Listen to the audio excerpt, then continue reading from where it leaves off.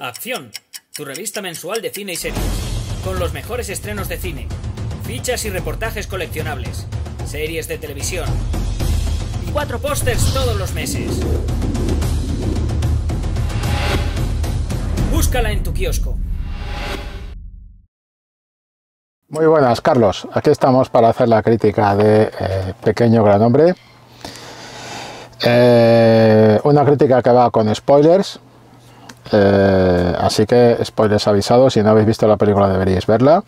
Y esto es un vídeo de la revista Acción. Acción Cine y Acción Televisión. ¿De acuerdo? En la cual pues podéis encontrar coleccionables, información, entrevistas, todo tipo de noticias críticas de los estrenos. Por ejemplo, vamos a destacar aquí el tema de las críticas que están, eh, están presentadas en forma de fichas coleccionables, las críticas de los estrenos del mes, y que es una revista que podéis encontrar en el kiosco todas las semanas, o sea, perdón, todas todos los meses, todas las semanas no, todos los meses, es un tocho, no nos daría tiempo a hacer todas las semanas, eh, todos los meses, con bastante, bastante material coleccionable y con, eh, bueno, hay distintos, distintos tipos de coleccionables. Por ejemplo, aquí tenemos un, coleccionable dedicado a eh, Alain Delon,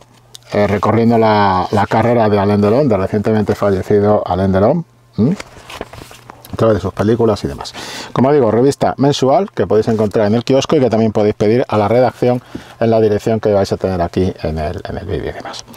Y este es un vídeo de esa revista, de la revista Acción, que también podéis seguir en Acción Cine en la web Acción Cine. Y vamos a hablar, como digo, con crítica, con spoilers, de eh, Pequeño Gran Hombre, una película de Arthur Penn, una película del año 1970, con lo cual está lindando entre la década de los 60, el final de la década de los 60, el fructífero final de la década de los 60 en el cine estadounidense, y la década de los 70, que va a ser un poco una década dorada del cine, no solo en Estados Unidos, sino en todo tipo de cinematografías, también en la cinematografía española y también en la cinematografía italiana, por ejemplo. Eh, en cualquier, en cualquier, casi en cualquier país en ese momento, en los años 70, vais a encontrar, vas a encontrar, Carlos, películas interesantes. Como digo, esta película es de 1970 y eh, dirigida por uno de los directores, a mí me parece más interesante de esa, de esa etapa, que es Arthur Penn, que entre otras películas, como director, tiene algunos de los títulos clave de esa etapa. ¿no? Por ejemplo, tenemos eh, El zurdo. El zurdo es una película que es interesante, es una especie de... Es interesante como compañera de viaje de Pequeño Gran Hombre. Compañera de viaje temática. Lo que intenta hacer el zurdo es dar una visión de Billy el Niño, interpretado por Paul Newman, dar una versión de Billy el Niño, del icónico Billy el Niño, el célebre forajido estadounidense, del western, eh, dar una visión alternativa, dar una visión eh, diferente, más eh, intelectual si quieres, y un poco reflejando pues ese, ese tono de ocaso que empieza a prodigarse en los géneros estadounidenses en general y más concretamente en el western. Después tenemos otra película esencial, El milagro de Anna Sullivan, otra gran película del director, una de sus mejores películas, El milagro de Anna Sullivan. Después tenemos una película eh, que es casi un western en algunos aspectos, sobre todo por el personaje del sheriff que interpreta Marlon Brando, La jauría humana, que no deja muy bien a la sociedad estadounidense, eh, una película eh, de 1966, y después Bonnie and Clyde. Bonnie and Clyde, que es otra vez una película que tiene clave de western, desmitificador y demás, sobre esos dos célebres forajidos, atracadores de bancos, eh, que están, eh, digamos, en, la frontera de la ley, eh, como fuera de la ley y demás. Y después va a haber otra película, digamos, señalada dentro de, la filmografía del director, como es La noche se mueve, es una película, antes de llegar a, la, a la, que iba a decir, tenemos La noche se mueve, una película policíaca de una especie de cine negro también crepuscular, eh, lo cual ya es mucho, porque el cine negro ya es bastante crepuscular, pero si encima le metes la mirada de Arthur Penn con Jim Hammond como protagonista, La noche se mueve, pues eh, es una película que reflexiona mucho todos los abordajes genéricos de Arthur Penn a, aquellos géneros que, en, los que, en los que se mueve, suelen ser eh, abordajes críticos, desmitificadores, como, los que, como el que encontramos en Pequeño Gran Hombre. Y después tiene Missouri. Missouri es una película con Marlon Brando y Jack Nicholson, un cara a cara ya notable por sí mismo, y que también está afincada dentro de lo que es la clave western, eh, un género en el que eh, al final Arthur Penn se prodigó más de lo que pueda parecer en principio, porque casi todas sus películas tenían esos, esos ribetes de western. ¿no? Está claro que, por ejemplo, eh, La Jovería Humana es una película de intriga, de intriga, suspense, una película de tensión social, una película que está hablando de los problemas sociales estadounidenses a finales de los años 60, como digo, muy reflexiva desde el punto de vista social y político, pero que en el fondo pues tiene sus códigos western en muchos aspectos, ¿no? Y lo mismo ocurre con Bonnie and Clyde. Bonnie and Clyde, en definitiva, es una película que eh, es una película de forajidos, de fuera de la ley. Eh, y ahí pues está un poco jugando también con esa otra alternativa del western. Así que eh, parece que no, pero Arthur Penn hizo, más western de lo que podríamos pensar en principio. Lo que pasa es que lo hizo de una manera muy peculiar, como digo, de esa manera desmitificadora, de esa manera mm, de poner en cuestión, poner en solfa el, mm, digamos el código mitológico del western y donde más lo hace precisamente es en este largometraje, Carlos, en Pequeño Gran Hombre, donde además ataca directamente un poco toda esa mitología a través de personajes concretos y de momentos históricos concretos. La película gira en torno a la batalla de Little Bighorn desde el principio, eh, cuando el personaje protagonista, ya con 110 años, convertido en un anciano, un superviviente de esa época del lejano y salvaje oeste, de la conquista del oeste mitificada, eh, decide aportar una visión de todos estos asuntos desde un punto de vista de un desclasado, desde un punto de vista de un personaje que va casi como una veleta, que va, es casi como los personajes que vemos en Akira Kurosawa en,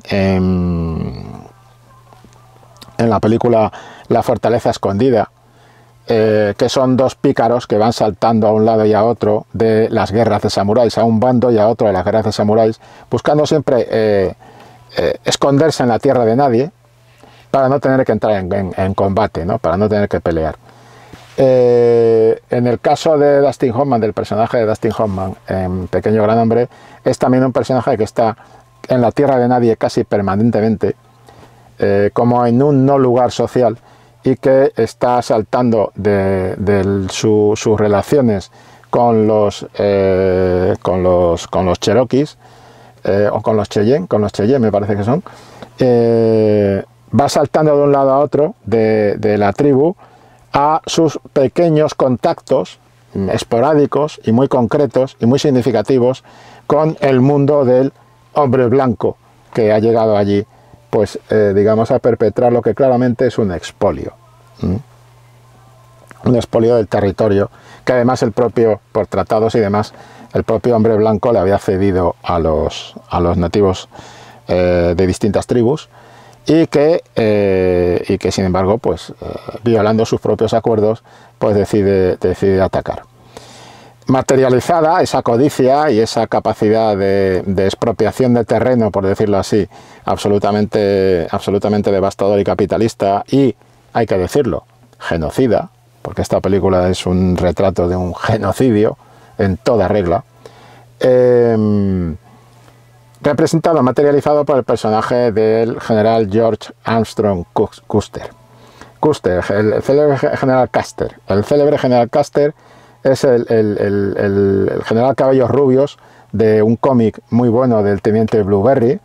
Es, esa especie de militar eh, tirando a descerebrado, no especialmente astuto, o por lo menos no tan astuto como él cree que es, que está eh, siendo objeto de parodia en toda la película, y de desmitificación, como la propia mitología de, eh, esa conquista al oeste eh, llevada a cabo por los, por los hombres blancos frente a los nativos de las distintas tribus eh, que poblaban el lugar. Em, en todo este arco, en todo este, este arco de, de contar la historia desde un punto de vista que no es, esto hay que subrayarlo, no es el de los nativos de las tribus, es el de un blanco entre los nativos de las tribus. Y esto lo subrayo porque creo que es fundamental, porque en realidad pudiera parecer que la película Pequeño Gran Hombre está, está hablando, evidentemente está hablando del genocidio eh, que perpetraron los blancos, pero eh, no está hablando desde el punto de vista de los nativos que lo sufrieron, sino que está hablando desde el punto de vista de una reflexión del hombre blanco, de un hombre blanco, que es este pequeño gran hombre interpretado por, eh, por Dustin Hoffman, que que de alguna manera hace un repaso de su vida. Y esto es importante subrayarlo porque hay un punto de clave romántica, de romantización de la aventura del superviviente, de la aventura del pícaro, de, una aventura que tiene mucho código también de vinculación con esa especie de mensaje de pacifismo que se da en ese momento. Estamos en 1970 en relación con la guerra de Vietnam, que cuando habla de genocidio está aludiendo también a un genocidio, el genocidio eh, contra los judíos en la Alemania, en la Alemania nazi y los territorios controlados por el Tercer Reich eh, de Hitler. Eh, hay incluso un momento de diálogo en el cual cuando él está con, esta pareja, vamos a llamarlo así, de puritanos, esta pareja de ultra, de ultra religiosos, que de alguna manera adoptan a, este, a este muchacho cuando sale de, las de la tribu y, es, eh, digamos, reintegrado en el mundo de los blancos. Eh, esta pareja, el momento en que ella le está, le está bañando y le, le, da una explicación bastante, bastante, bastante humorística dentro del código de humor que tiene todo, todos los diálogos y todas las presentaciones de, situaciones de esta película, porque esta película es una comedia, es una comedia negra, es una comedia negra, pero en definitiva tiene ese punto de comedia, de parodia, de sátira. Em, y le dice que, Jesucristo mm, no es un hebreo, no era un hebreo, sino que era un gentil como ellos. Es decir, esa segunda lectura de eh, los genocidios, del genocidio y de eh, la manera en la que los blancos, vamos a decir, eh, se, se, manifiestan en contra de los, de los nativos eh, está condicionada por esa visión del hombre, del hombre blanco, de la culpa del hombre blanco. Y esto es interesante subrayarlo porque esto va a marcar un poco las visiones que hay un tanto paródicas y un tanto como, pues eso, en clave de comedia negra, de algunas claves, de algunas costumbres de los, de los nativos, eh, que van a marcar un discurso que es un discurso de culpa, un tanto egoísta por parte del hombre blanco, de la sociedad blanca frente al expolio de los, de los nativos y que es ese, pues ese discurso de la culpa tan habitual en el cine estadounidense cuando quiere ajustar cuentas contra su propia leyenda negra, que no es una leyenda negra, sino que es un hecho, les resulta mucho más fácil tramar o hablar o abordar de, los acontecimientos de leyendas negras ajenas, pero digamos que tienen más dificultad a la hora de afrontar su propio, sus propios lados oscuros de su historia, que en esta película son lados muy oscuros de su historia. Em, entonces, para eso, pues como digo, materializan el punto de la crítica en este personaje del general Caster eh, y en su visión de las cosas. Y también en los, esos contactos muy breves, muy esporádicos y muy de picaresca, muy de novela picaresca, eh, que lleva a cabo el protagonista con, un, con una especie de mandato impuesto en todo momento, que es eh, que él en ningún caso va a matar o va a ejercer una violencia para alentar este discurso un tanto pacifista de hace el amor y no la guerra, que creo que se extiende por toda la película y que en el fondo se está haciendo eco del propio discurso en contra de la guerra de Vietnam. Eh, en un momento determinado, el personaje realmente mm, va a llegar a intentar matarse a sí mismo, va a pensar en el suicidio, pero en ese momento se encuentra con el ejército del general Custer y entonces alienta, desde ese estar al filo de la muerte, alienta esa idea de permanecer vivo para vengarse. Y es justo en ese momento cuando le vamos a ver en, un en, en una secuencia bastante, bastante interesante cuando empieza a reír, cuando en realidad quiere llorar, cuando se encuentra con Caster, que es el asesino de su familia, de su familia, eh, de, su, de, su, hijo eh, recién nacido, de su mujer eh, el asesino en la, en la, en la matanza de, de, Guasita. Y eh, como ríe, se pone a reír y se pone a interpretar un papel para disimular en realidad lo que son esas lágrimas que, tiene, que, experimenta ese pesar que experimenta por, el exterminio de su, familia frente al, al, asesino de esa familia, al principal eh, culpable o responsable del asesinato de esa familia, de esa masacre. Entonces, eh, eh, en ese sentido, toda esta visión, mm, digamos, de hombre blanco de lo que le ocurrió a los nativos, está, está muy, se pone muy de moda en ese final de los 60 y principio de los años 70 en el cine estadounidense, con películas como Soldado Azul, con películas como Un hombre llamado Caballo, con películas como Las aventuras de Jeremías Johnson. Eh, y otros títulos que de alguna manera junto con Pequeño Gran Hombre pues intentan hablar de ese exterminio, de ese genocidio de las, de las, de las naciones indias a manos del hombre blanco. Eh, esa especie de clave de autorreflexión pues marca que todas estas películas en definitiva lo que están haciendo es una especie de idealización del, nativo, eh, de la cultura nativa, eh, los que se llaman seres humanos en esta película, eh, frente a los blancos y el instinto de depredación de los blancos. Y ahí se produce el binomio que va a presidir toda la película de Pequeño Gran Hombre,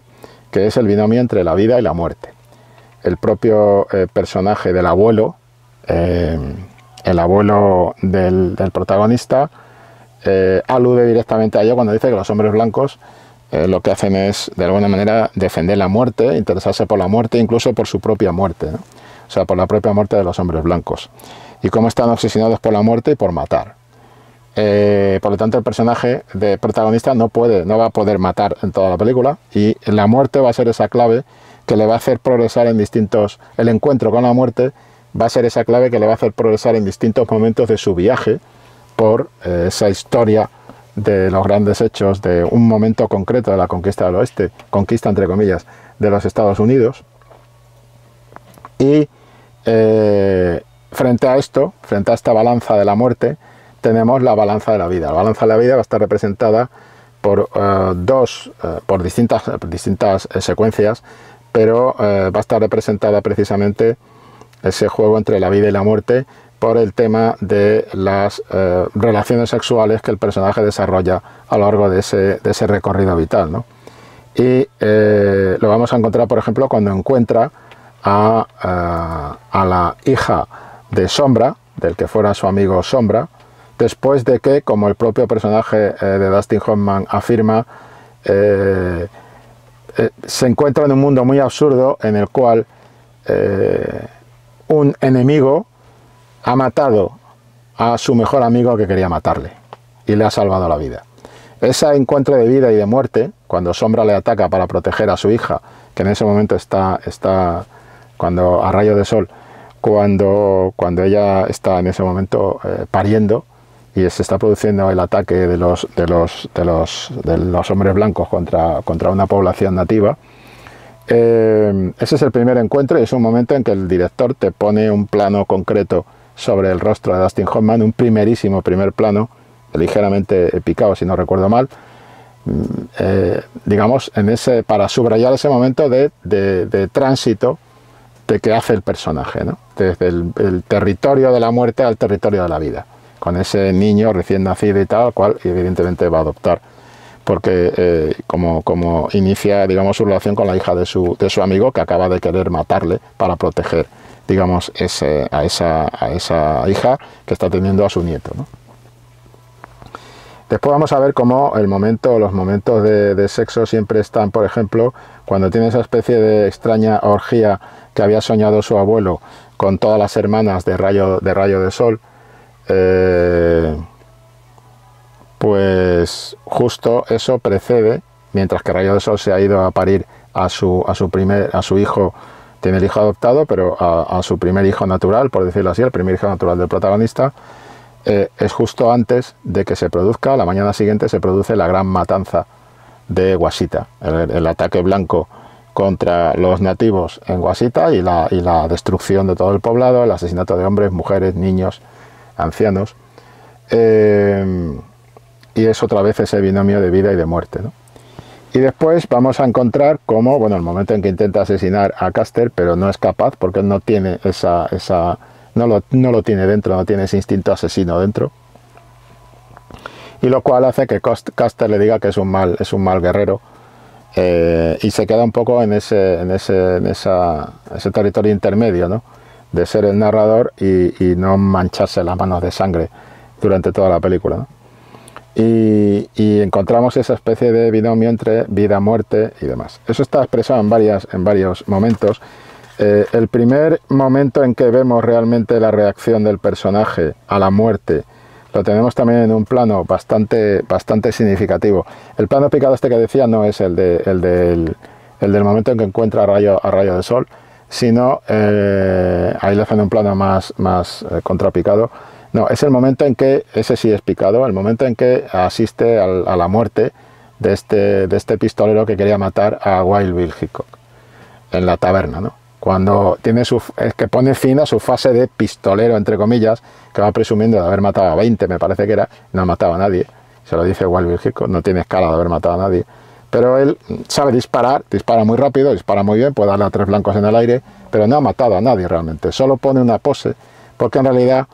eh, él va pasando de una fase a otra y es como si fuera cogiendo distintas máscaras, ¿no? Como cuando se pone en clave tendero, cuando se pone en clave pistolero, cuando se pone en clave de borracho, cuando se pone en clave de mm, eh, eremita, cuando se pone en clave de, en el fondo, es un eh, indio que no, nunca fue un indio, por decirlo así, ¿no? Entonces, a partir de ahí es cuando vemos esos encuentros con la muerte, ese primer encuentro con la muerte del pistolero al que, al que dispara eh, Wild Bill Hickok, anticipando lo que va a pasar con Wild Bill Hickok, donde va a ser también el personaje de Dustin Hoffman testigo de esa otra muerte mítica de la mitología del lejano y salvaje oeste, la muerte del pistolero, pues eh, ese primer encuentro con la muerte hace que se tire las pistolas, que, al que, que, venda las pistolas eh, y que se quite de en medio eso porque él no quiere matar. Y cuando después vaya a matar al, al general Caster, llevado por el odio, por la venganza, no va a ser capaz de matarlo. Eh, entonces, realmente, él no hace nada eh, realmente mm, asesino durante la película, se mantiene en esa clave, salvo aconsejarle a Caster, eh, y es lo que dice, en este, esta vez sí tenía un arma, y el arma era la verdad, Caster ataca en Little Big Horn por su propia estupidez, y lo único que hace el personaje es estimular esa estupidez. Eh, pero ese es el único acto del que podríamos decir que realmente es un acto de venganza, de violencia contra Caster. Eh, y por lo demás, pues él siempre saldrá de la historia con las manos limpias, de sangre. Lo cual es importante para mantener la coherencia dentro del relato. Y es importante por cómo te muestra las, las muertes, los asesinatos de los, de los nativos. También eh, me llevan a pensar, por ejemplo, en cómo aborda lo que hace Arthur Penn con los códigos del western y cómo hace como una visita a momentos claves, icónicos, eh, a, arquetipos y, a, emblemáticas situaciones del western. Por ejemplo, el ataque a la diligencia. Inevitable pensar en la diligencia de John Ford, en cómo está servido el ataque a la diligencia de John Ford y cómo Arthur Penn convierte el ataque a esta diligencia en una especie de parodia, comedia de aquel ataque. Eh, poniéndose más serios, el, momento en el que mm, aborda esa búsqueda de eh, un poco de reflejo, se mira en el espejo de Centauros del Desierto, el otro gran clásico junto con la diligencia de John Ford del western, eh, y se mira en esos campos de nieve, el momento en que el personaje protagonista emprende la búsqueda de su mujer raptada por los indios. Es otra vez la búsqueda de los protagonistas de intentar recuperar a una muchacha blanca que ha sido raptada por los indios en eh, Centauros del Desierto. Y como al final, en el desenlace de Centauros del Desierto, eh, y al final de esta, bueno, al final, en la, en la secuencia de la matanza de Guasita, que lo que hace es cerrar el segundo acto y dar paso al tercer acto de la historia, que es el punto de giro que lleva al personaje de vuelta al mundo de los blancos, cuando era absolutamente feliz en el mundo de los, de los nativos, vamos a encontrar esa matanza de Guasita que es como una especie de eco de esa carga que hace la caballería contra el poblado nativo en el tercer acto de Centauras del Desierto. Y donde finalmente pues, recuperarán al, personaje que estaban buscando y todo esto. Pero cuidado con eso porque es como aborda visualmente Arthur Penn estos momentos. La manera en la que aborda la matanza de Guasita impide, igual que la manera en la que aborda Little Bighorn en la batalla de Little Bighorn, eh, frente a la manera en la que se abordó, por ejemplo, esa misma batalla en otras películas, como por ejemplo puede ser la más, la más mitificada de todas, que es Murieron con las botas puestas,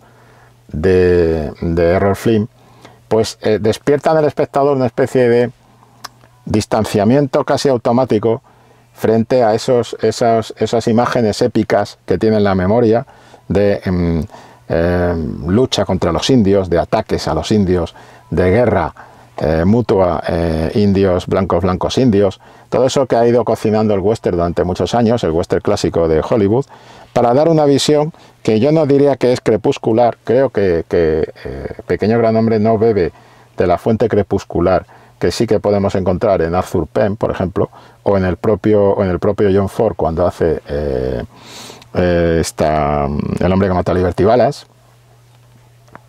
sino que aquí estamos asistiendo a otro tipo de fenómeno. Asistimos a un fenómeno de eh, parodia crítica, de desmitificación crítica de esas grandes y mitificadas eh, películas del western y momentos de esas películas, momentos icónicos de esas películas. Eh, la matanza de Little Bighorn tenemos también reproducida otro gran título de John Ford, que es Ford Apache. Estoy hablando de la visión de Arthur Penn de esto, la visión de la película. Es una visión del año 1970 cuando de repente eh, el cine estadounidense se pone muy crítico, eh, pero siempre desde el punto de vista de ese hombre blanco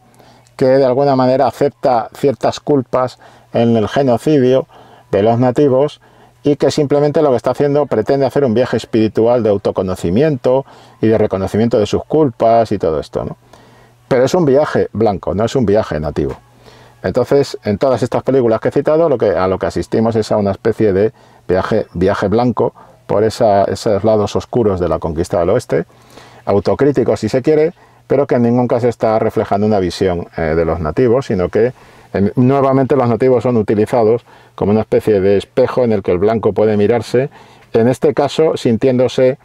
eh, incluso víctima de sus propios pecados y de sus propios errores. El propio, el propio abuelo dice que el hombre blanco no va a ningún sitio. Y en el fondo, en todas estas películas se observa esa misma tendencia que realmente hay cierto caos argumental, cierto caos de personajes perdidos, que es perfectamente coherente con las películas, son personajes perdidos. Entonces, es otra manera de pintar los héroes eh, como antihéroes, pero en, definitiva sigue siendo una utilización de los nativos para edificar esa visión del hombre blanco de sí mismo, de, su, participación. Eh, todo el tema de reír para vivir cuando en realidad lo que quiere es llorar, todo el tema de la parte eh, sentimental. Eh, este personaje además se define también en ese sentido, incluso en su reencuentro con la con la esa especie de madrastra de la que se enamoró eh, cuando era un adolescente y que cuando se la vuelve a reencontrar convertida en una prostituta mm, rechaza la posibilidad de tener relaciones sexuales con ella eh, un poco para intentar preservar esa inocencia perdida que tuvo en su, en su adolescencia, eh, en su juventud. Y esa idea de preservar la inocencia es lo que yo creo que preside al personaje, que, de alguna manera preside y persigue al personaje durante toda la película, eh, como digo, desde, este punto de vista eminentemente blanco y no nativo de lo que está ocurriendo en, ese momento. ¿no? pero es una película en ese binomio muerte y vida, muerte y sexo, ese enfrentamiento entre dos, dos, eh, dos ideas opuestas, dos, dos decisiones opuestas, eh, lo que sería matar o fornicar, eh, crear, producir muerte o crear vida. Ese tipo de juego es el que se trata toda la película para hablar de un también de una con cierto punto de nostalgia, de una muerte de la inocencia, de la primera inocencia, de lo que fueron los primeros eh, pobladores, tanto blancos como nativos, de las praderas y demás. De la, de la, pérdida de la inocencia, de la ruptura de la convivencia entre, entre, distintas, entre distintas culturas y de cómo de alguna manera ahí se origina un pecado que va a tener, un pecado entre comillas, este es el discurso de la película, un pecado que va a tener sus ecos en el siglo XX con, por ejemplo, pues eso que decimos de la guerra de Vietnam y con una especie de entrega perpetua a la guerra, ¿no? a una guerra sin sentido dirigida por eh, oficiales que no parecen tener nada claro y que son gente eh, muy perdida y absolutamente egomaníaca y demás. Entonces, esa, eso, hay planos muy buenos, sobre todo en la parte final es donde la planificación entra más en peso en la propuesta de, Arthur Penn, que ha estado tratando a los personajes de una manera muy cercana, muy, muy crítica, si se quiere, con ellos, con ellos y con el entorno que les rodea, y que cuando llega el desenlace es cuando empieza a hacer algunos planos, que son planos que sí que están, pues ese plano de Dustin Hoffman cuando está tomando la decisión de tirarse, de suicidarse y de repente se cruza al fondo del plano del ejército eh, digamos, contrastando con la figura del, protagonista en la, montaña. O el plano final en el que eh, el general Caster le pide consejo al, protagonista sabiendo o pensando que le va a engañar a propósito para que no, para que no ataque a sus compañeros, a sus amigos eh, nativos, ¿no? sus amigos indios. Y en ese plano también vemos a Dustin Hoffman sentado en una piedra y recomendándole que ataque porque ahí se va a encontrar guerreros y no mujeres y niños. Y es un poco eso, esos planos son los que marcan más. Y sobre todo ese plano final en el cual cae el general Caster en primer término, eh, en un primerísimo primer plano, y vemos al final de ese plano también a, a, Dustin Hoffman, también que cae, también cae herido y tal, con el ajuste de cuentas final de esa vida que se debía, de esa vida que le debía a uno de sus, de sus eh, compañeros de juegos de cuando eran, de cuando eran niños en las tribus. Entonces, eh, todo en la película gira en torno a esa idea y es curioso cómo eh, la película te muestra ese viaje del héroe, en este caso sería el viaje del antihéroe, preservando a este, preservando al protagonista, escrupulosamente de que cometa ningún acto de violencia en ningún momento. Lo cual, digamos, es el anti-western de alguna forma. ¿no? porque no solo es una parodia o una crítica o una sátira del western tradicional, sino que está jugando con claves, con momentos claves en los cuales el personaje es absolutamente pasivo o es de alguna manera un testaferro del público, un testigo del público dentro de esos acontecimientos, ¿no? como pasa por ejemplo en el, en el disparo contra Wyatt Terp. Eh, en, esa, en ese juego eh, se producen dos contactos del protagonista con el hombre, con, el, la cultura, la cultura, con la sociedad, la civilización entre comillas del hombre blanco. Su primer encuentro cuando vuelve siendo, siendo adolescente al mundo de los blancos, con todo el tema de pues esta la bebida que del sueño que ha tenido, eh, que tiene después, que le confiesa que ha tenido el personaje de su abuelo y tal, con ese elefante, que no sabe que es un elefante, sino que es un animal con dos cuernos en la boca y cuyo, cuya boca eh, escupe agua con, gas. Eh, ese, ese, primer recorrido con ese, ese, personaje que me parece que es un... me parece, a ver, igual me estoy pasando, ¿vale? Asumo que me puedo estar pasando, que me puedo estar tirando un triple y puede estar sonando ya por ahí la música de los cazafantasmas. Pero a mí me parece que el personaje del emprendedor, el personaje que interpreta Martin Balsam, que es este, este pícaro que vende bebedizos eh, curativos y que va perdiendo partes de su cuerpo, precisamente porque cada vez que le capturan, pues le, corta una parte de su cuerpo y demás, y que acaba metido en la industria de la matanza de los búfalos posteriormente, eh, es casi una parodia de ese intento emprendedor capitalista, ¿no? de, ese, de esa de esa fiebre capitalista de montar el negocio, de, de expoliar, de, de, de, hacer negocio, de hacer el primer millón. Ese juego eh, que es tan significativo le va, le va amputando partes de su propio cuerpo a este personaje y me parece que es toda una parodia eh, bastante interesante, un poco de, esa, de, esa, de ese afán depredador del, del, capitalismo que según la película ha sido el culpable o uno de los culpables de que se haya perdido esa inocencia eh, idílica, casi de jardín del Edén de lo que era el territorio virgen y salvaje y demás. Sabemos que en el western, como he comentado en alguna ocasión, se ha movido la cámara, eh, alguien se ha enfadado por ahí arriba, por lo que he dicho, ¿no? Bien. Eh, esto es, tiene que ver con que tengo el micrófono puesto y evidentemente si me muevo yo un poquito la cámara empieza a hacer cosas raras. Así que voy a intentar estarme más quietecito eh, y atrapado por el micro y por la, dictadura del micro. Lo que quiero decir es que sabemos que todo western plantea un enfrentamiento entre dos eh, contrarios, naturaleza y civilización.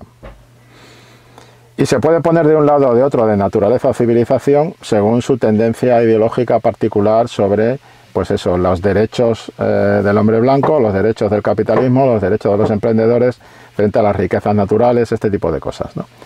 Pero está claro que en este western eh, se apuesta claramente porque si te das cuenta el viaje que hace el personaje, el viaje lo hace fundamentalmente en el mundo de los nativos, y lo que ocurre es que hay dos, partes de ese viaje al principio de la película, bueno, al principio más o menos, y en el desenlace de la película, que es como un viaje de ida y vuelta, ¿no? Cuando él vuelve a su mundo de los blancos, se va reencontrando con todos estos personajes. Se encuentra con la viuda, que se ha, pasado a la prostitución, se encuentra con el personaje de Martin Balsam, que es este emprendedor, vamos a llamarlo así, de capitalista incipiente que en realidad es un, es un, es un, estafador y que se apunta a cualquier cosa que le pueda meter dinero en el bolsillo. Eh, se reencuentra con Wild Bill Hickok, también con el pistolero. Eh, y, hombre, falta ahí quizá un reencuentro con la hermana, eh, que hubiera sido curioso, pero en realidad es ese, como ese camino de vuelta, ¿no? Como cuando ya está de vuelta de todo y en ese camino de vuelta al final pues eh, lo que encuentra es la decadencia de esa sociedad blanca que le anticipa, le anticipa el propio, su propio abuelo cuando le dice, esta batalla la hemos ganado, mm, la siguiente la vamos a perder, ellos son más que nosotros, mejores armas, mejores todo, o sea, más capacidad para, eh, para ponerse por encima de nuestra cultura, y, pero y los, los, cuando habla con los dioses, ese discurso que tiene con los dioses, eh, cuando habla con les dice eso, bueno, habéis decidido que el hombre, que esto pase a ser, a que ahora el rumbo lo, marque el hombre blanco, a pesar de que el hombre blanco no sabe a dónde va. Y eso es un poco lo que reflejan esas dos visitas, por decirlo así, del relato al mundo de los blancos por contraposición con eh, los viajes por el mundo de los, de los nativos. Entonces esto encaja con esa idea de naturaleza contra civilización, de ese duelo de contrarios, y eh, encaja con toda esta visión de la, de la película como un eco de lo que en realidad estaba pasando en Estados Unidos,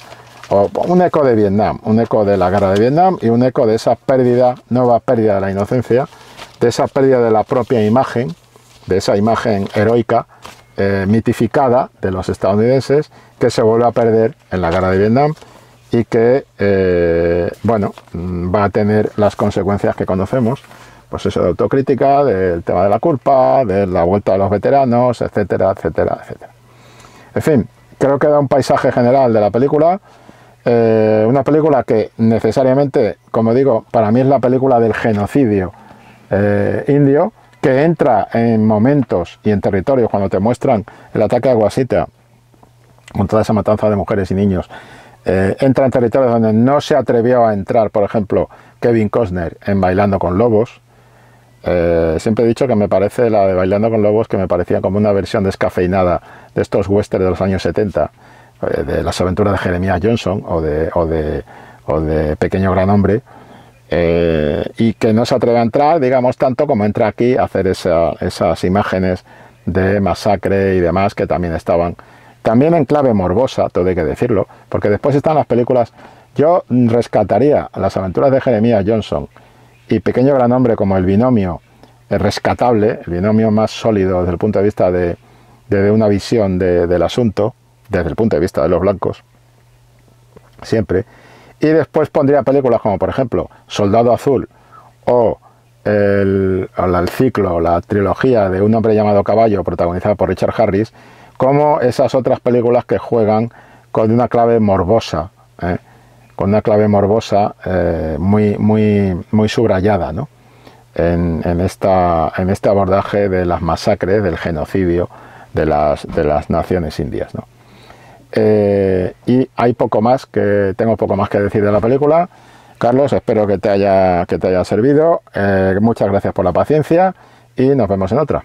Hasta luego. Acción, tu revista mensual de cine y series, con los mejores estrenos de cine, fichas y reportajes coleccionables, series de televisión y cuatro pósters todos los meses. Búscala en tu kiosco.